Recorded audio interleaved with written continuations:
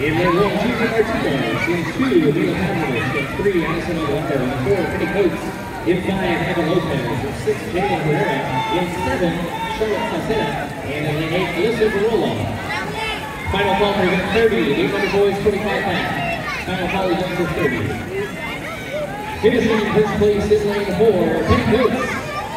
In second place in lane six, Jalen Herrera. And coming in third to the wall in lane five,